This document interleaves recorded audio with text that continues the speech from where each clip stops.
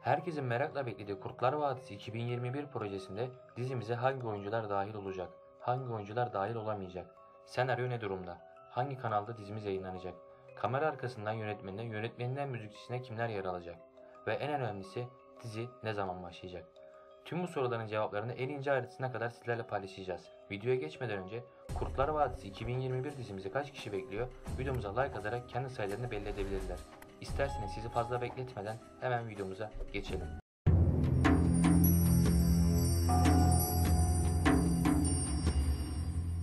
Dizimizde hangi oyuncular kesinleşti? Kimler diziden çıkarıldı? Senaryo ne durumda? Kesinleşen kanal hangi kanal? Yayın tarihi ne zaman? Bu bilgileri vermeden önce bizi başından beri takip eden, izleyen kemik tayfaya selamlar. Ayrıca bilgi aldığımız abilerimize, değerli hocalarımıza ve kardeşlerimize bize bu fırsatı verdiği için ve bilgi alışverişi yaptığı için teşekkürlerimizi iletiyoruz. Bu dizi hakkında hiçbir bilgi ve alakası olmayan prim, dümen ve tık için insanların hayaliyle oynayamazsınız. Tek hayal sizin videoda anlattıklarınız. Dostlar hani bir dizi başlarken jeneriğin en sonunda dizideki karakterler tamamen hayal ürünüdür diyor ya. Bu primciler de o videoların başına bu videoda anlatılanlar tamamen hayal ürünüdür diye yazmalarını tavsiye ediyorum. Yoksa bu insanların vebali ve hayaliyle oynamak karaktersizliktir. Siz de bu karaktersizliğin en başına bayrak sallayanlardansınız. Kurtlar Vadisi hakkında yaptığımız haberleri önce çalıp sonra sanki önceden söylemişsiniz gibi algı yaratmalarınıza ve Kurtlar Vadisi hakkında yaptığınız kolpa dümen videolarınıza yapımdaki değerli insanların bile gülüp geçtiği dalga konusu olduğu insanlarsınız. Biz piyasa Eylül ayına girdik. Bunu kemik kitle çok iyi bilir. Bu projede 2 yıldır araştırmaktayız ve takip etmekteyiz. Neden daha önce girmedik? Çünkü Kurtlar Vadisi ne 2018'de, ne 2019'da, ne de 2020'de başlayacaktı. Bunu bildiğimiz için girmedik. O sene içerisinde çıkan tüm haberler yalandı. Peki Necati Şaşmaz'ın 2017-2018 yılları arasında verdiği röportajdan sonra neden kaos başlamadı? Çünkü diziye sonradan yayın yasağı geldi.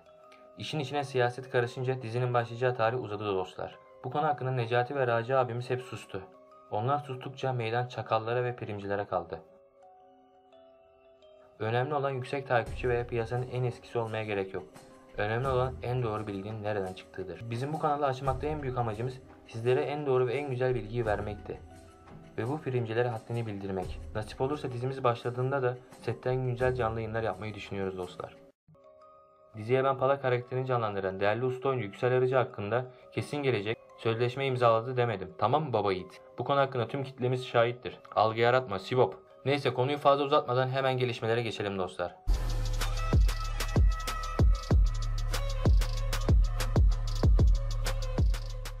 Dizinin senaryosunu bildiğiniz gibi Necati Şaşmaz yazmıştı. Doğu Akdeniz'e geçecek olayları ve pandemi sürecini perde arkasında anlatacaktı arkadaşlar. Necati Şaşmaz'ın yazdığı senaryoda Raci Şaşmaz revize ediyordu arkadaşlar. Gözden geçiriyordu. Yani 11 Aralık 2020 tarihinde senaryo bitti arkadaşlar. Senaryo bitti. Buradan da bunun spoilerlarını verelim. Buradan da vadi sevenlere de heyecanına bir heyecan daha katalım. Peki hala çekimler niye başlamadı? Senaryo bitti. Çekimler hala neden başlamadı? Arkadaşlar şu anda projenin yayın yasağı var. Yakına bir mahkeme olacak. Bu mahkemeden sonra da yayın yasağı kalkacak arkadaşlar. Yani yayın yasağı ile ilgili bir mahkeme olacak. Bu mahkemeden sonra yayın yasağı projeden kalkacak arkadaşlar. Kimse canını sıkmasın. %90 olumlu sonuç çıkacak arkadaşlar. Kesin bilgidir. Bunun da bilgisini verelim. %90 kesin kesin olumlu sonuç çıkacak. Buradan da haberiniz olsun. Kimse canını sıkmasın. %90 olumlu sonuç çıkacak arkadaşlar. Yani yayın yasağı kalkacak. Yani Necati Şaşmaz'ın eşkıyaya neden konuk oyuncu olarak gelmediğini, İbo Şov'a konuk oyuncu olarak neden gelmiyor? Yayın yasağından dolayı arkadaşlar. Bu arada Necati Şaşmaz'la alakası yok arkadaşlar. Bildiğiniz gibi Raci abiyi dolandırmışlardı. Bunu da buradan bilgisini verelim. Onunla ilgili bir sıkıntı olacak arkadaşlar. O yüzden zaten az çok takip edenler de bilirler arkadaşlar. Dizinin net gününü ve tarihini kimse bilemez arkadaşlar. Net günü yani 5 Nisan ya da yani o dümenciyi boş verelim artık. O konuyu kapattık. Yani atıyorum 5 Ocak veya 15 Şubat'ta başlayacak diye diyemeyiz ama büyük ihtimalle arkadaşlar bu da kesin bilgi. Buradan da spoilerlarını verelim. Arkadaşlar dizi Şubat'ın sonu Mart'ın başı gibi başlayacak. Bununla buradan spoilerlarını verelim. Şubat sonu Mart başı gibi dizimiz başlayacak. Piyasaya yön verecek. Dizi başlayacak. Türkiye'ye reyting nedir? Reyting nasıl bir şeydir? Bunu getiren dizim piyasaya yön verecek. Türkiye'ye reytingi getiren piyasanın en iyi dizisi Kurtlar Vadisi dizimiz. Bu güzel dizimiz Şubat'ın sonu Mart'ın başı gibi başlayacak. Bununla buradan bilgisini verelim arkadaşlar. Buradan spoilerlarını verelim. Instagram adresimizden zaten birçok haber yapmıştık. Onu da buradan yayınlamadık. Videomuza yayınladık. Çünkü Instagram'da paylaştıkça video hemen anında video çekmemiz gerekiyor. Çünkü primciler, dolandırıcılar ortalıkta çok geziyor. Hemen bizden çalıyorlar. Onlar da işte karakter neyse o konuyu kapatalım artık. Bu arada mahkeme konusuyla ilgili detayları veremeyiz arkadaşlar. Gizli ama kesin bilgi mahkemenin ne zaman olacağını biz de bilmiyoruz. Çok yakın bir zamanda olacak. Yani şunu unutmayın arkadaşlar. Şubat'ın sonu Mart'ın başı gibi dizi başlayacak. Ya Şubat'ın başı gibi teaser atılır ya da Ocağın sonu gibi teaser atılır arkadaşlar. Buradan da bunun bilgisini verelim. Raci Şaşmaz bildiğiniz gibi Pana Holding'in sahibi arkadaşlar. Necati Şaşmaz da Pana yapımın sahibi yani. Holding'in sahibi Raci Şaşmaz, yapım şirketinin sahibi de Necati Şaşmaz. Aldığımız bilgiye göre Raci Şaşmaz'ın inşaat projelerini durdurduğu yapım şirketine yöneleceğine dair iddialar çıkmıştı arkadaşlar. TV sektörüne biraz daha yoğunlaşacak arkadaşlar. Bu arada dediğimiz gibi meblağ konusu vardı. Instagram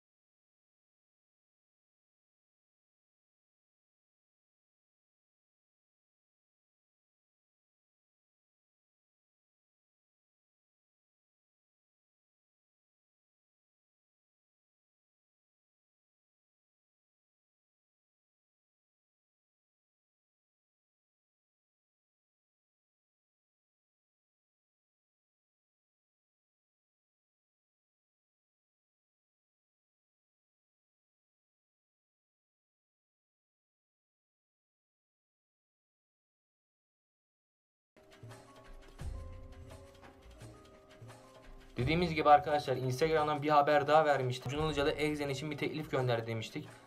Tabi biz Instagram'da paylaşır paylaşmaz haber sitelerinde de gündem olduk. O günde gündem olduk arkadaşlar. Haberi yapar yapmaz direktmen gündem olduk arkadaşlar. Zaten Instagram'daki kemik kitle bilir. Instagram'dan YouTube'u izleyenler kemik kitle de bilir. Dediğimiz gibi arkadaşlar bizden sonra bizim haberin üstüne daha çok dümen katıp dümen yapmışlar.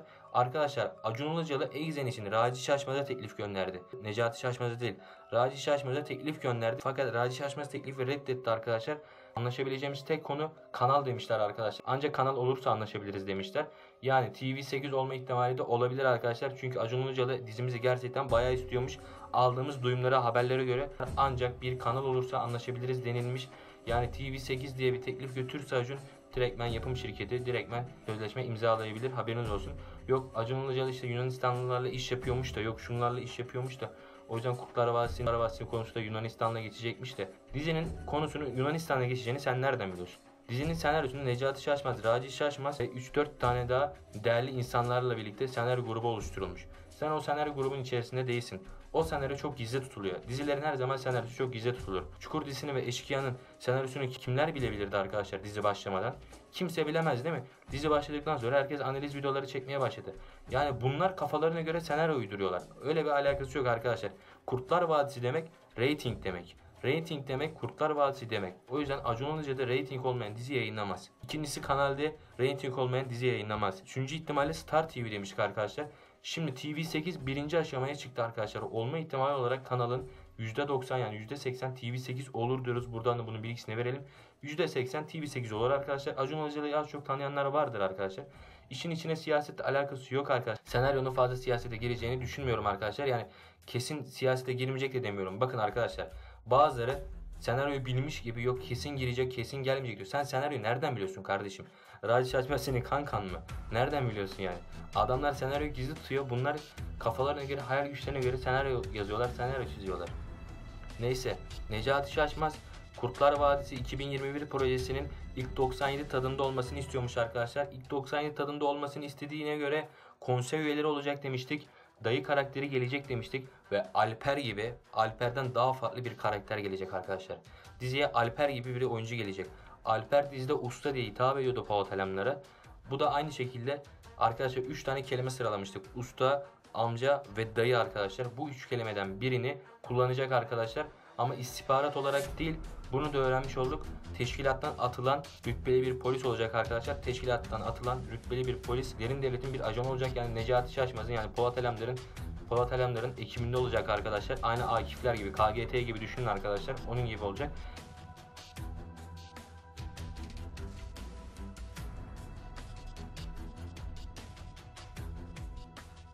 Peki neden Kurtlar Vadisi Pusu'nun devamı değil? Herkes bir düşünsün şimdi. Necati Şaşmaz'ın 2017 ve 2018 yılları arasında verdiği bir röportajda Kurtlar Vadisi Kaos size senaryolarını yazdık falan demişti. Kurtlar Vadisi Kaos demişti. Kurtlar Vadisi Pusu'nun devamı 11. sezonu çekeceğiz demedi.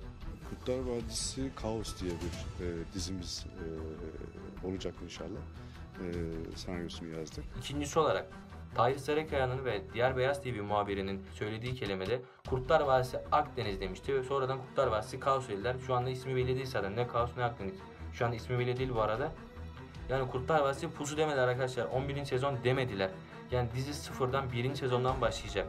Senaryosu değişti arkadaşlar. Dizi şu anda aşağı yukarı 3 yıldan beri kesintisiz yayında yok. Sene 2021 olacak. Konular değişti. Pusu zamanı olan olaylar şu anda yok arkadaşlar. Konular değiştiği için dizi projesi sıfırdan yapıldı arkadaşlar. Şimdi herkes mantıken düşündüğüne göre şimdi benim demek istediğim herkes anlamıştır arkadaşlar. Çünkü konular ve gündem değişti. Ölen adam nasıl geri gelecek? Kenan Çoban diziye nasıl gelecek? Arkadaşlar dediğimiz gibi Kenan Çoban öldü arkadaşlar. Kurtlar Vadisi Pusu'da Kenan Çoban öldü. Adamın kemikleri sızılıyor. Adam parçalandı öldü. Adam hala ölmemiş diziye gelecek diyor. Arkadaşlar Kenan Çoban dizimize dahil olacak ama proje sıfırdan yapıldığı için dahil olacak. Yok Süleyman Çakır'ın ölüm yıl dönümünde başlayacakmış da. Tamam tamam. İnandım inandım tamam. Süleyman Çakır'ın hayat hikayesini mi anlatacak dizi? Tabii ki Süleyman Çakır Kurtlar Vadisi bir efsanesi ama Kurtlar Vadisi işte hakarettir işte. Kurtlar Vadisi ilk 97'den çıkamaz, pustan çıkamaz. Kurtlar Vadisi'nin patenti Raci Şaşmaz'da. Adam isterse diziyi sıfırdan yapar, isterse sıfırdan yapmaz. Ona kalmış bir şey. Bu dümenciler kafalarına göre senaryo uyduruyorlar.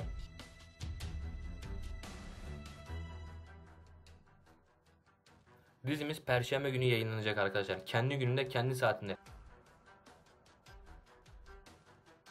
Bir oyuncu var arkadaşlar kesinleşmedi. Buradan bilgisini verelim. Kesinleşmedi ama kesinleşirse Emo'da YouTube kanalından ve Racon Ailesi Instagram hesabımızdan bunun bilgisini vereceğiz. Haluk Bilginer'in konsey üyesinde ismi geçiyor arkadaşlar.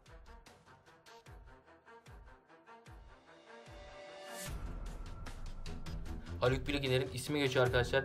İki ihtimal var ya düşman rolünde gelecek ya da konsey üyelerinden birisi olacak. Sizce hangisi olabilir? İsmi geçiyor şu anda arkadaşlar. Çünkü büyük oyuncular gelecek. Böyle saçma ikinci kademe insanlar gelmeyecek. Dizi için bayağı büyük bir bütçe harcanıyor. Dizinin girişi çok iddialı olacak arkadaşlar. Bunun da bilgisini verelim. Yok işte gemi patlayacakmış da şurası araba patlayacakmış da.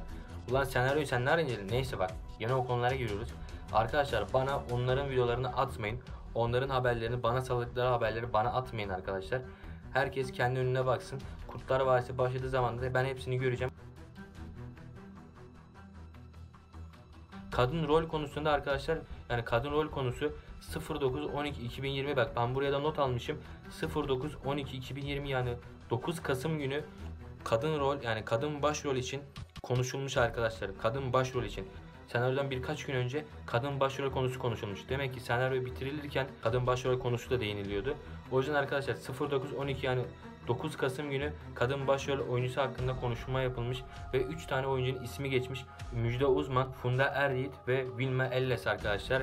Bu üç ismin ismi geçmiş.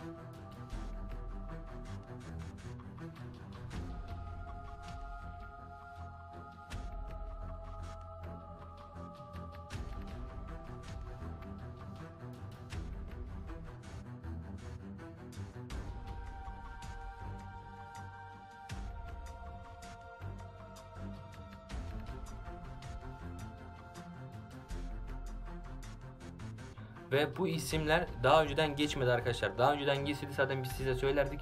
9 Kasım'da geçmiş arkadaşlar. Yani senaryonun bitimine 2-3 gün kala Müjde Uzman, Funda Eryiğit ve Vilma Elles'in arkadaşlar bu üç ismin ismi geçmiş. Herhangi biri kesinleşirse direkt zaten biz haberi gireceğiz arkadaşlar. Şu anda sözleşme imzalayan tek bir oyuncu var. Kenan Çoban. Şu anda Kenan Çoban'dan başka hiçbir oyuncu sözleşme imzalamadı arkadaşlar.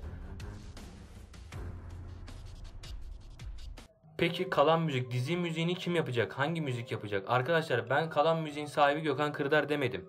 Haberi göt haberi başka yerlerden uydurup bizim yüzümüze çarptırmaya ve algı yaratmaya çalışmayın. Kalan müziğin sahibi Gökhan Kırdar olacak demedik. Bizi izleyen değerli insanlar ve kemik kitle zaten bunu biliyor. Öyle bir şey demedik. Haberimize zaten buraya koydum.